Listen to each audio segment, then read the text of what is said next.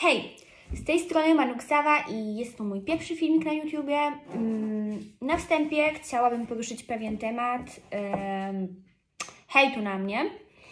E, Wstawiam też e, na mnie na Psycho Couple e, odnośnie naszego filmiku o koronawirusie. Wstawiam Wam też link do filmu i do wywiadu i do filmu właśnie z hejtem. Em, opcja, którą chciałam poruszyć, to mm, hejtowanie mnie mm, tylko po zdjęciach z mojego Instagrama. E, nie wiem, czy ma jakikolwiek sens, e, tym bardziej w tak poważnej kwestii, jaką jest koronawirus. I uważam, że osoby, które hejtują coś o koronawirusie, tylko po to, żeby zwiększyć swoje zasięgi i nie wiem, jakoś zdobyć swoje uznanie czy coś takiego, są po prostu żałosne. I uważam, że jest to po prostu coś, nie wiem, nienormalnego. Bo nie wiem, ktoś zobaczył moje zdjęcia na Instagramie i uznał, że jestem głupia. Ktoś, nie wiem, zobaczył mój wywiad, uznał, że niczego nie wnoszę. Może i tak, ale po prostu chciałam zrobić coś, coś pożytecznego, coś, nie wiem, ostrzec jakoś ludzi. Em, odnośnie tego, jaka jest sytuacja, odnośnie tego, że koronawirus to nie jest błahostka, odnośnie tego, że ogólnie po prostu dać Wam jakieś informacje, nie wiem. Są osoby, które oczywiście to zaakceptowały, są z tego, em, zadają mi również pytania na Instagramie odnośnie właśnie koronawirusa, sytuacji we Włoszech. E, też zrobiłam właśnie takiego Q&A, żeby zdobyć te pytania, żeby po prostu Wam e, też pomóc, żebyście byli jakoś bardziej poinformowani dla osób, które są po prostu ciekawe tego, co jest we Włoszech. No ale oczywiście osoby zawsze muszą znaleźć coś do hejtowania. Mm, założę się, że pod tym filmikiem też na pewno będą hejty, no bo jak to tam bez hejtów się nie da żyć, oczywiście, prawda? Em, zawsze coś na kogoś znajdą, po prostu, nie wiem, sprawia Wam to jakąś przyjemność, czujecie się jacyś, nie wiem, fajniejsi czy coś. Nie, nie wnikam w to, okej.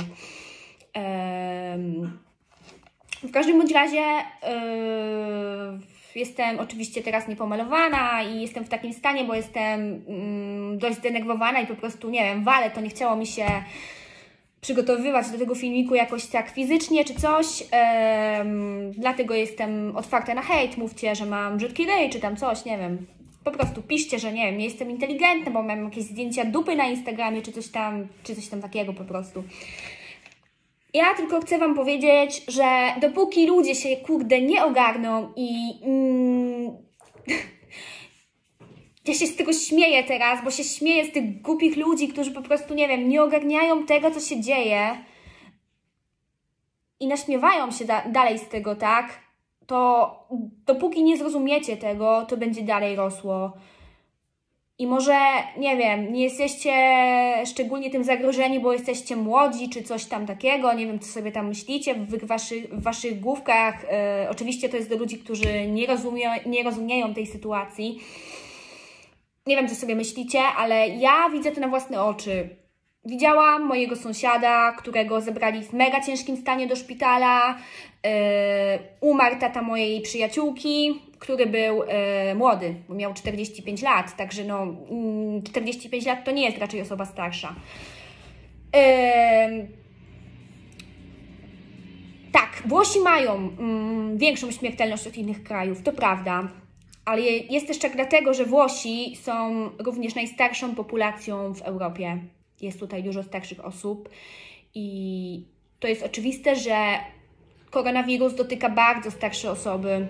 E, dlatego też ta śmiertelność jest tutaj tak wysoka.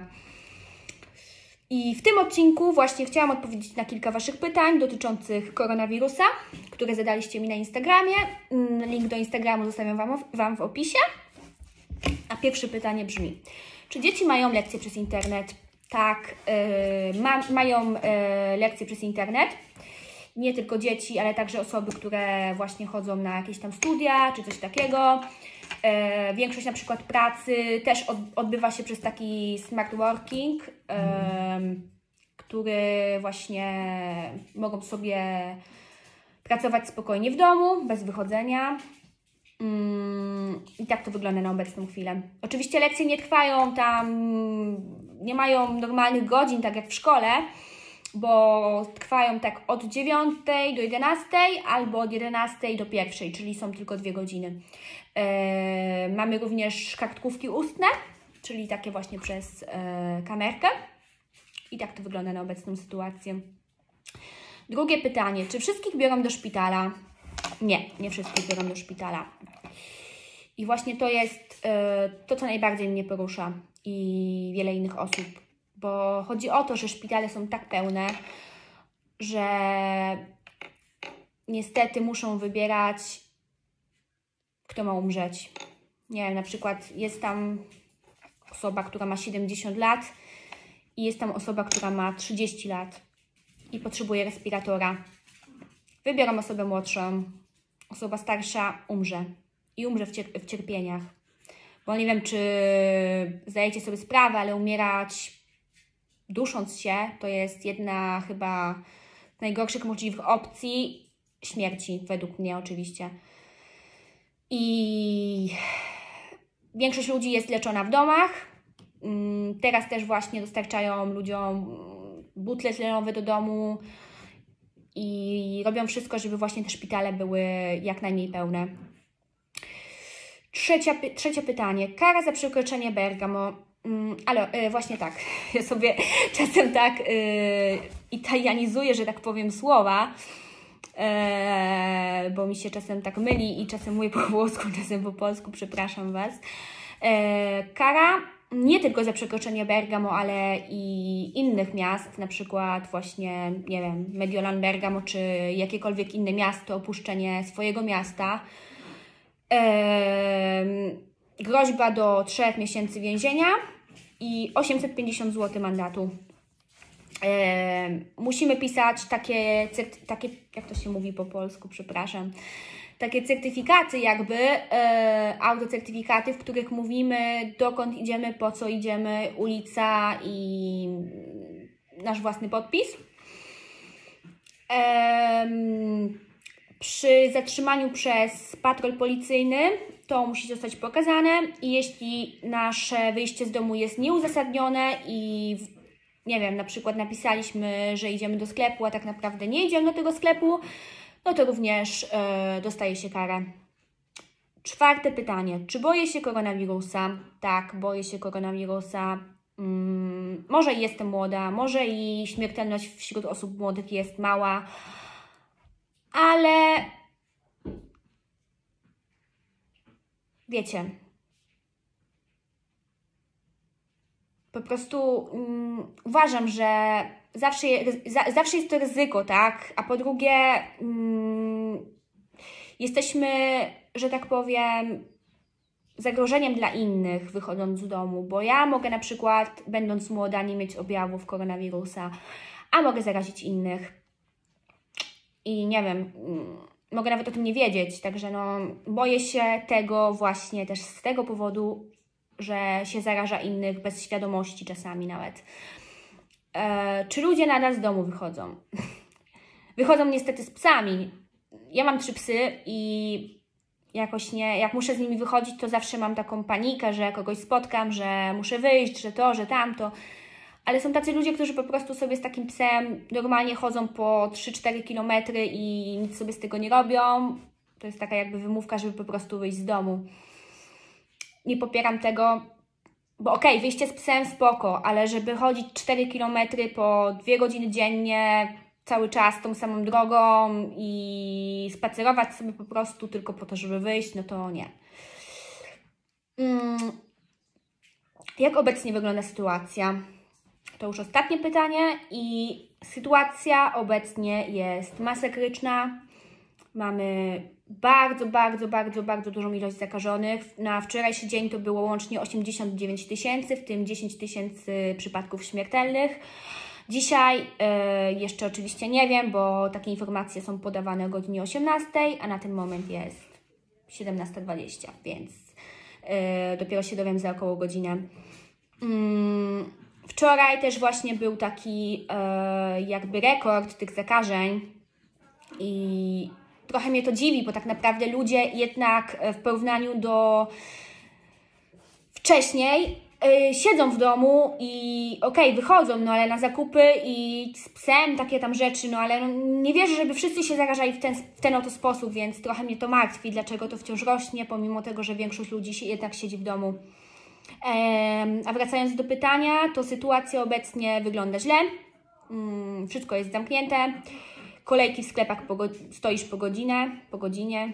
Mm, I po prostu taka cisza na ulicy, takie, nie wiem, taka pustynia, takie nie wiem, to jest po prostu szokujące, bo w porównaniu do tego, co było kiedyś, że było pełno aut, yy, korki były, a teraz nie ma nic z tego. Jest taka mega cisza, takie miasto widmo.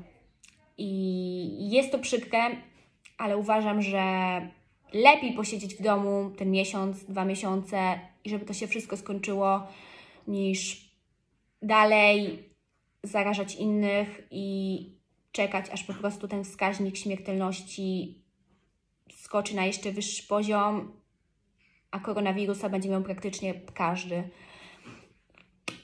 I jestem zdania, że jak możecie, to naprawdę zostańcie w domu i nie śmiejcie się po prostu, nie wiem, z tego, że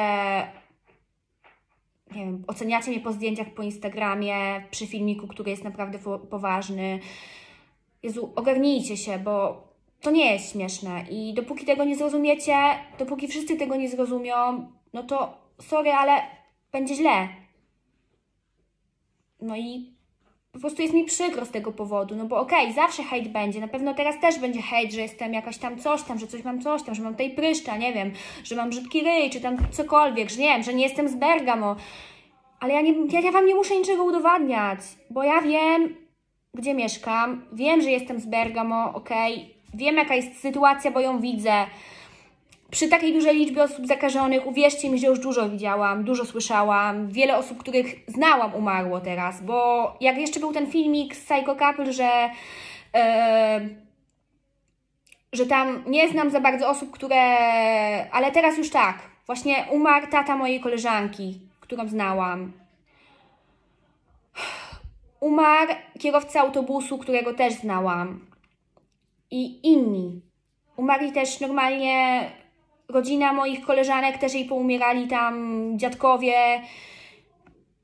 I teraz po prostu naprawdę to cały czas rośnie ta śmiertelność i czym dalej to idzie, tym bardziej właśnie widzę i, i jak, nie wiem, przepraszam, się zacinam, jak się denerwuję, to tak mi się dzieje.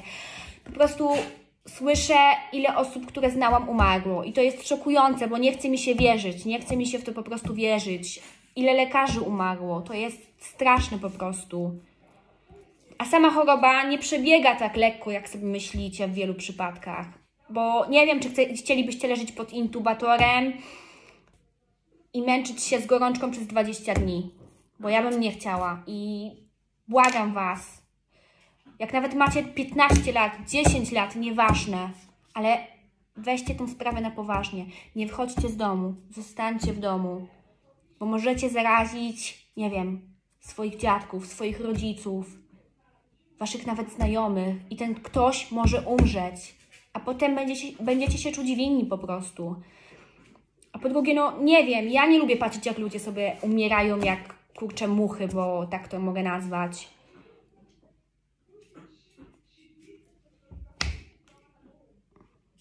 Dobra, to tyle w tym odcinku. Mam nadzieję, że coś do Was dotarło. Jestem otwarta na hejt, jak chcecie hejtować, to róbcie to, nie wiem. Ja po prostu nie biorę Waszego hejtu na poważnie. Możecie mówić, że nie wiem, że jestem głupia, tak jak na filmiku, który dołączam właśnie Wam w opisie. róbcie sobie co chcecie, ale ja po prostu chcę do Was dotrzeć. Chcę Wam przemówić do rozsądku. Jak macie jeszcze jakieś pytania na kolejny odcinek, zadawajcie mi je na Instagramie. Postaram się Wam odpowiedzieć na wszystkie, które mi zadacie. No i to tyle. Hej!